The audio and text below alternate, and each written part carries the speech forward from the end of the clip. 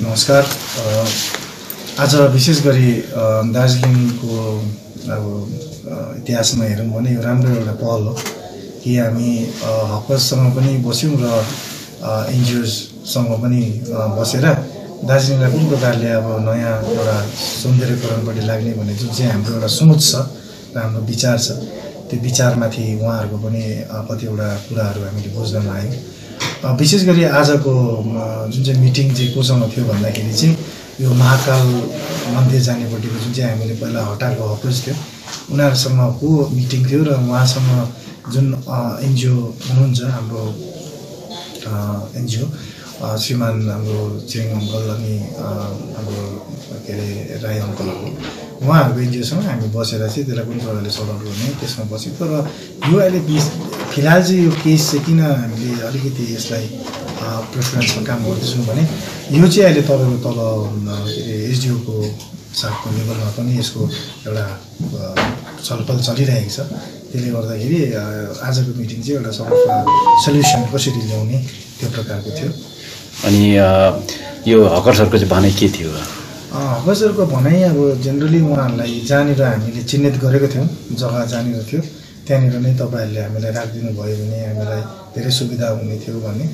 अरू हाम्रो एनजिओको भनाइ के थियो भने त्यही सेम अब कस्तो भने सेन्टिमेन्ट र इमोसन्स रिलेटेड छ र त्यसलाई पनि हामीले बुझिदिनुपर्छ भन्ने थियो। र त्यो भन्दा भन्दै पनि एउटा कुरो कहाँनिर एउटा हामी निष्कर्षमा त भन्दिनँ त्यसलाई हामीले एउटा लेभलमा चाहिँ हामी आइपुग्यौँ भन्दाखेरि चाहिँ काहीँ न काहीँ चाहिँ अब हामीले उहाँहरूलाई पनि सेटल गर्नैपर्छ भन्ने चाहिँ एनजिओको पनि एउटा भनाइ थियो। र विशेष हामीले चौरस्ता परिसरलाई चाहिँ अब क्लियर गर्ने हेतु नै काम गर्ने छौँ भन्ने चाहिँ म जनसाधारणलाई पनि भन्न चाहन्छु। र खालि तपाईँको मल रोडलाई क्लियर होइन हामी अझै अघि बढेर हामीले नोटिसहरू सर्भ गरेर अहिले माइकिङहरू पनि गरिसकेको छौँ। र नेहरू रोडलाई पनि हामी क्लियर गर्नेछौँ र आजदेखिको त्यो अलिकति काम त्योपट्टि पनि हामी लागेको छौँ र जनसाधारणलाई यो पनि भन्न चाहन्छु कि हामी अब हाम्रो बोर्डले कतिवटा जग्गालाई अझै क्लियर गर्नेछौँ विशेष यो सनफ्लावरदेखिको मुनि जाने बाटोलाई पनि अलिक हामीले सोच्नुपर्ने र विचार गर्नुपर्ने समय आएको छ जस्तो मलाई लाग्छ किनभने जनसाधारण साधारणको निम्ति त्यो बाटो एकदमै इम्पोर्टेन्ट भएर जान्छ किन त्यो बाटोबाट नै बिमारीहरूलाई स्ट्रेचरमा हालेर लाने पहिलादेखिको चलन देखि परेको हो। तर अहिले गएर अलिकति त्यहाँनिर हामीले इस्युजहरू देख्दैछौँ र बिस्तारै बिस्तारै त्यो बाटोहरूलाई पनि म म जनसाधारणमाझ यो भन्न चाहन्छु कि त्यसलाई पनि हामीले क्लियर गर्ने समय आइसकेको छ। र उहाँहरूलाई त्यहाँ बसोबास गर्ने हकर्सहरूलाई पनि म रिक्वेस्ट गर्न चाहन्छु कि उहाँहरू पनि अब एउटा जग्गामा आएर सल्युसनपट्टि लाग्नुपर्ने मलाई लाग्छ र उहाँहरूले पनि केही सल्युसन हामीलाई दिनुहुन्छ होला। किनभने जुन प्रकारको स्ट्रक्चर र स्टेटसको त्यहाँ थियो त्यो स्ट्रक्चर र त्यो स्टेटसकोलाई फेरि वापस हामीले दिनुपर्ने मलाई लाग्छ। त्यहाँ किनभने अलरेडी फिफ्टी फाइभवटा स्टल्सहरू बनाएर दिएको थियो तर उहाँहरूले त्यो फिफ्टी फाइभवटा स्टललाई पनि छोडेर अझै जेनरल पब्लिकको एउटा प्रपर्टीलाई पनि इन्क्रोज गरेर माथिबाट छत छाना लगाएर बस्नु भएको छ। त्यहाँ पनि म उहाँहरूलाई रिक्वेस्ट गर्न चाहन्छु कि त्यो पनि त उहाँहरूले आफ्नो लेभलमा आफ्नो प्रकारले सोचेर दार्जिलिङलाई सोचेर सम्झेर जनसाधारणको एउटा सोचलाई अगाडि बढाएर उहाँहरूले निकाली हटिदिनुहुन्छ भन्ने मलाई लाग्छ। फिफ्टी फाइभवटा स्टल्स राखेर त्यो बाटोलाई चाहिँ उहाँहरूले छोडिदिनुहुन्छ भनेर मलाई लाग्छ। अगर उहाँहरूलाई त्यो फिजिबल लाग्दैन भने त्यहाँबाट फेरि हामी एउटा कन्क्लुसिभ एउटा डिसिजनमा हामी आउनेछौँ। हामी मिटिङ गरौँ बातचित गरौँ। त्यहाँबाट त्यसलाई पनि हामी बातचितको आधारमा नै हामीले त्यसलाई मिलाएर हामीले त्यसलाई इभ्याकुएट गरेर त्यो जग्गालाई हामीले इफेक्ट गरेर त्यहाँनिर फेरि जनसाधारणलाई हिँड्ने एउटा बाटो बनाइदिउँ भन्ने पनि उहाँलाई पनि म रिक्वेस्ट गर्न चाहन्छु। सुन्नुहोस् न त्यो जुन चाहिँ मल रोडको हकर्सहरूलाई त तपाईँहरूले त्यहाँ उहाँहरूको लागि विकल्प सोचिराख्नु भएको छ। र यो नेहरू रोडमा पनि जतिजना हकर्सहरू छ उहाँहरूको लागि चाहिँ तपाईँहरूले विकल्प के सोच्नु भएको छ? उहाँहरूलाई हटाएपछि त्यहाँ चाहिँ के रहन्छ उहाँहरू? विशेष गरी नेहरू रोडको सन्दर्भमा म भन्न चाहन्छु दुई हजार उन्नाइसमै एडमिनिस्ट्रेटरहरूले उहाँलाई हटाइसकेको थियो। एडमिनिस्ट्रेटरले हटाइसकेको हकर्सहरूलाई फेरि पब्लिक ओपिनियनमा बनेको बोर्ड जुन चाहिँ बन्यो त्यो बोर्ड बन्ने पश्चात फेरि उहाँहरूलाई त्यहाँ ल्याएर राखिएको थियो। अब त्यसमा म भन्नु केही पनि छैन। अब त्यहाँनिर उहाँहरूलाई हामीले रिसेटलमेन्ट गर्नु नगर्नु किनभने त्यो अलरेडी नन भेन्डिङ जोन भनेर एउटा डिक्लेयर भएको जग्गा हो।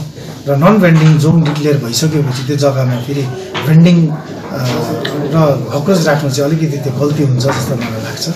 र त्यो मेल रोड परिसरको जुन हकर्सहरू छ है टोटल अब तपाईँहरूले यसलाई कस्तो प्रकारले स्कुटिनी गर्नुहुन्छ कि जेन्युन हकर्स? क्या हुन त अब हामी त दार्जिलिङमै हुर्केको हामीलाई थाहा छ नि त होइन हकर चाहिँ यति डरलाग्दो जन्मेको थिएन।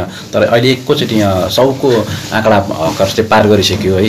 तपाईँहरूले कस्तो प्रकारले स्कुटिनी गरेर छनौट गर्नुहुन्छ? जेन्युन को हो नन जेन्युन को कस्तो प्रकारले यसमा पहल कस्तो चलाउनुहुन्छ स्क्रुटिनी गर्नुपर्छ।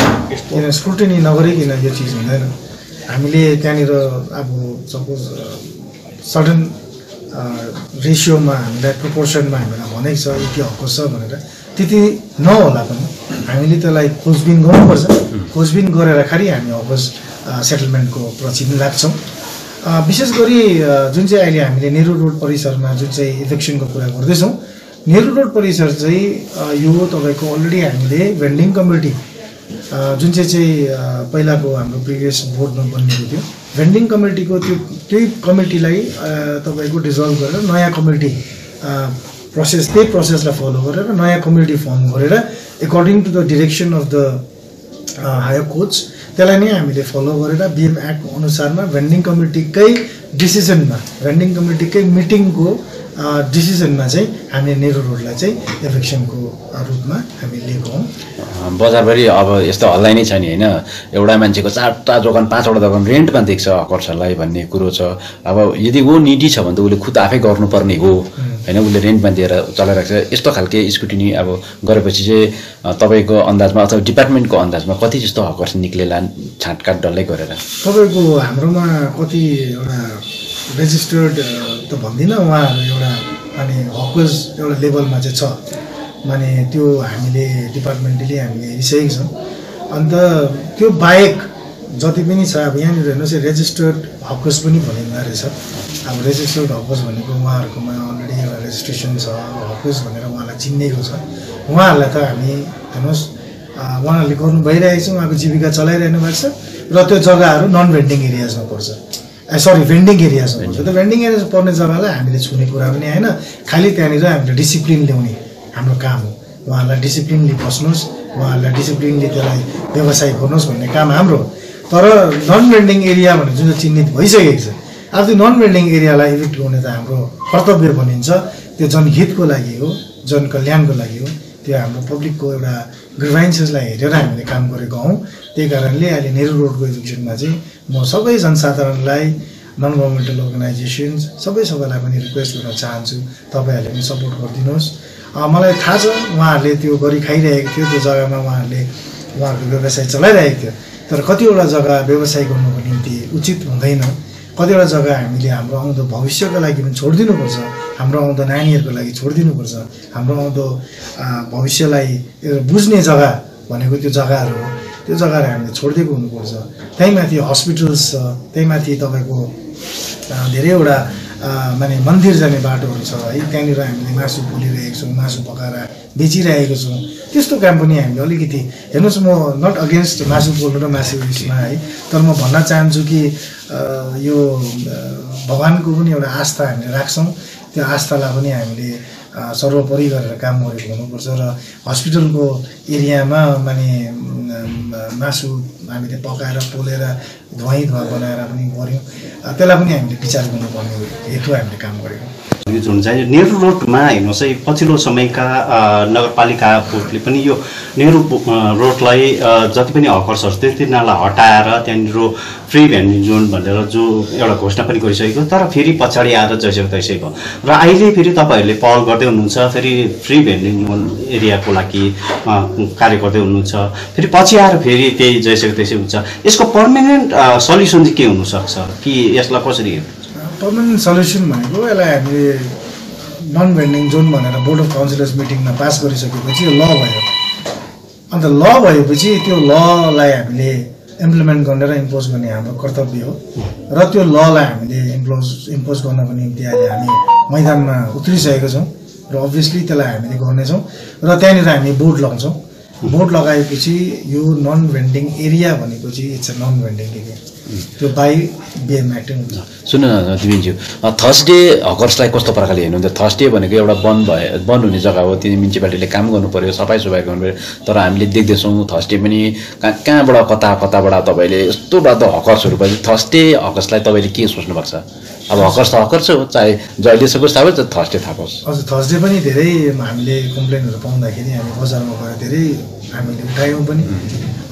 डिपार्टमेन्टले धेरैलाई पक्राउ गरेर चलानहरू काटेर उहाँहरूलाई फाइन फाइनहरू पनि गरायो। तर पनि अब के छ भने हामीले रेड गर्न गयो डिपार्टमेन्ट रेड गर्न गयो रेड गरिसक्छ। रेड गरिसकेपछि फेरि कहाँबाट घुमेर आएर फेरि त्यहाँ राखिदिन्छ र अब हामीले चाहिँ के सोचेको छौँ भने थर्सडे चाहिँ हामी हाम्रो डिपार्टमेन्टको मान्छेलाई इन्टायर बजारमा होल डे पुलिसिङ गर्नको लागि हामी राख्छौँ।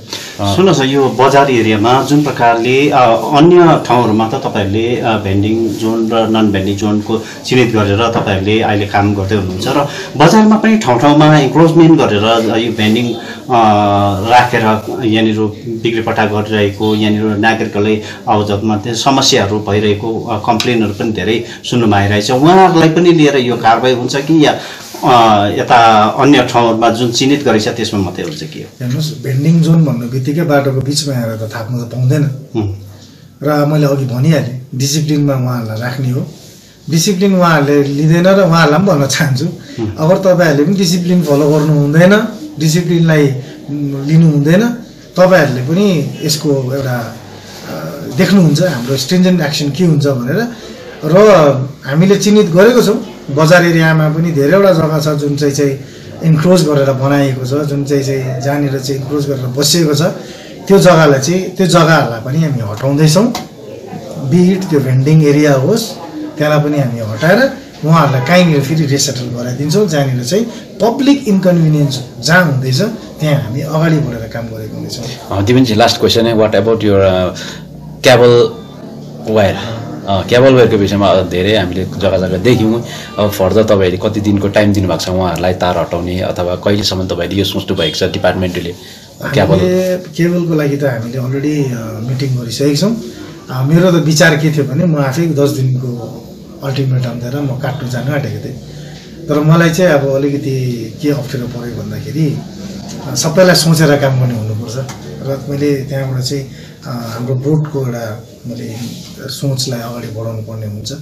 र बोर्डकोबाट एउटा मलाई सजेसन आयो कि मेम्बर्सबाट कि why not we call them for a meeting एउटा डेमोक्रेटिक एउटा सेटअपमा काम गरौँ अनलाइक एउटा डिक्टेटरसिपको हिसाबले गएर काटेर त्यो गरेर भन्दा। त्यही कारणले हामीले एउटा मिटिङ कल गऱ्यौँ। फर्स्ट राउन्ड अफ मिटिङ भएको छ सेकेन्ड राउन्ड अफ मिटिङ पनि अस्ति सक्यो।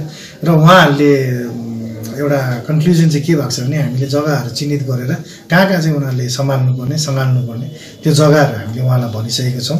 र अब नेक्स्ट चाहिँ उहाँहरूको उहाँहरू अब त्यो कामलाई गर्नुको निम्ति चाहिँ उनीहरू पनि अगाडि बढ्नु पऱ्यो। अगर उहाँहरूले भनेको टाइममा आएन भने फेरि मेरो बोर्डलाई पनि मैले रिक्वेस्ट गरेको थिएँ कि मलाई तपाईँहरूले काम गर्न दिनुहोस् म गएर तार काट्न थाल्छु भनेको छु र बोर्डले पनि त्यसमा विचार गरिदिनु भएको छ। भने यो समस्या छिटै छिटै समस्या समाधान हुने एकदमै एकदमै। हामीले यसलाई एरियल डक्टिङ गर्दा पनि भयो माने एरियल उयसमा लाँदा पनि भयो ट्रेन्चिङ गरेर मुनिबाट डक्टिङ गरेर लाने एउटा कन्सेप्टमा हामी काम गर्दैछौँ प्लानिङ भइरहेको छ प्लान गरेको छौँ। त्यो प्लानको अनुसारमा नै हामी काम गर्दैछौँ। कति दिनको अल्टिमेटम चाहिँ दिइरहनु अहिले तपाईँको अल्टिमेटम भन्दाखेरि तपाईँको यो हटाइहाल भन्ने होइन उहाँहरूलाई हामीले एउटा पिरियड सडन भन् भन्न चाहदिनँ अहिले हामीले उहाँलाई भनेको छौँ। त्यो प्रकारले उहाँले गरोस्। त्यति बेलासम्म गरेन भने चाहिँ म त्यहाँबाट फेरि तपाईँलाई एउटा लास्ट प्रश्न के उयो सुन्नुहोस् न यो vending zone non vending zone भनेर तपाईँहरूले बारम्बार भनिरहेको छ है।